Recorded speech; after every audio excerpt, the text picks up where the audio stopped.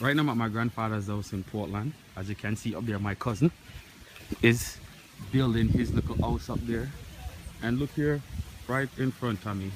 Do you know what tree this is? This is a cinnamon leaf, cinnamon tree right here.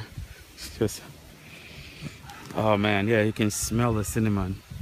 This is a nice cinnamon leaf tree in my grandfather's yard. And uh, this is the view from his house. So right now I'm at my grandfather's house and you can see the view that I have. This amazing view of the hillside of the Caribbean Sea. So get ready to go see the next videos will be from the beach.